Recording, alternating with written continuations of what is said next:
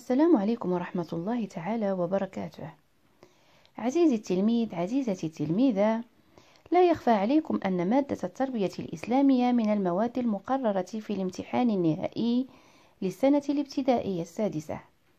لذا أرجو منكم متابعة هذا الدرس.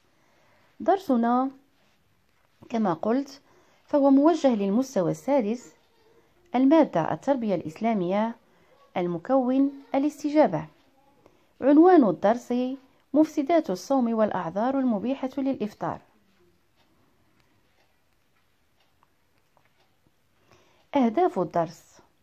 بعد انتهاء الدرس يجب أن أتعرف مفسدات الصوم ومبيحات الإفطار أتجنب ما يفسد صومي وآخذ برخص الله عند وجود الأعذار أقتنع بيسر شريعتنا السمحة.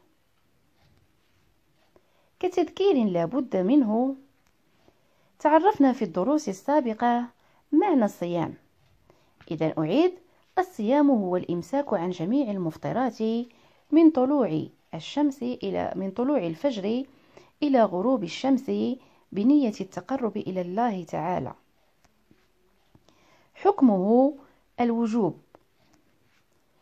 شروطه. والمقصود بالشروط هي ما يجب أن يتوفر في الإنسان كي يكون ملزما بالصوم وهي الإسلام البلوغ العقل الصحة والإقامة. أما فرائده والمقصود بالفرائد هي أشياء لا يمكن أن يصح صومنا دونها وهي النية والإمساك عن جميع المفطرات. سننه المقصود هنا أيضا بالسنن هي أفعال قام بها الرسول عليه الصلاة والسلام ونحن آه، مخيرون في الحقيقة تتبع أن نتبعها. إن قمنا بها فنحن نأخذ أجر آه، اتباع الرسول عليه الصلاة والسلام وإن لم نقم بها فصيامنا صحيح. أهمها تعجيل الفطور تأخير السحور. إذا لنلاحظ هذه الوضعية شاهدت زينب جدها الذي يعاني من مرض السكري يتناول وجبة الإفطار في أحد أيام رمضان استغربت الأمر وأخبرت أمها فأجابتها أمها موضحة أن جدها يتوفر على عذر يبيح له الإفطار ما رأيكم؟ هل الأم محقة فيما قالت؟ هل فعلا هناك أعذار تبيح الإفطار؟ إذا لنتعرف رأي الشرع في ذلك. يقول الله تعالى: أعوذ بالله من الشيطان الرجيم، ومن كان مريضا أو على سفر فعدة من أيام أخر يريد الله بكم اليسر ولا يريد بكم العسر.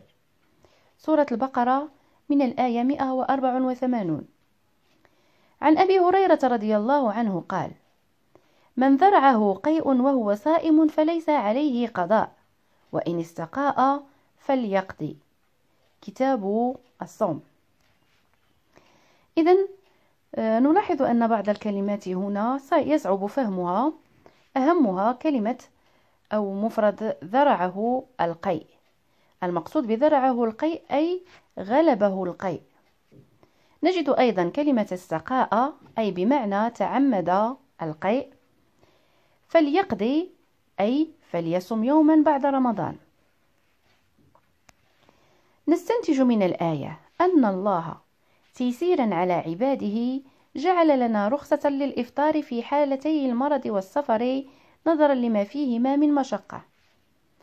أما من حديث رسول الله صلى الله عليه وسلم فنستنتج مفسدا من مفسدات الصوم وهو الاستقاء أي تعمد القيء.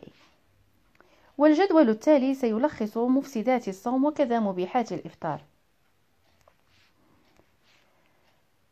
من بين مفسدات الصوم نجد تعمد الأكل تعمد الشرب ثم الاستقاء.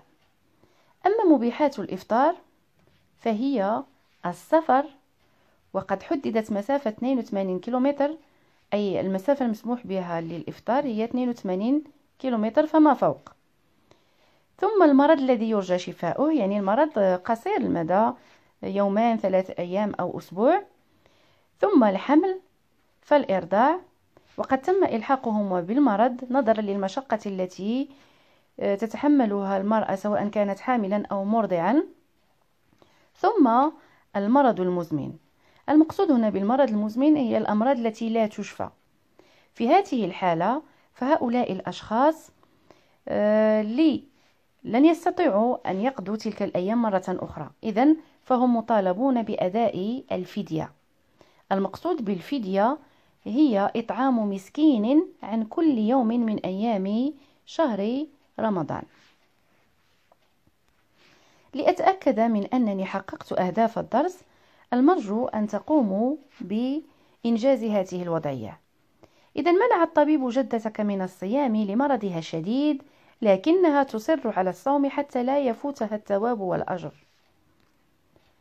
المطلوب منك أن تقنع. إذا أقنع جدتك بضرورة إفطارها مستشهدا بالآية 184 من سورة البقرة. حد سعيد للجميع وفي انتظار مزيد من الدروس. شكرا لكم على حسن المتابعة.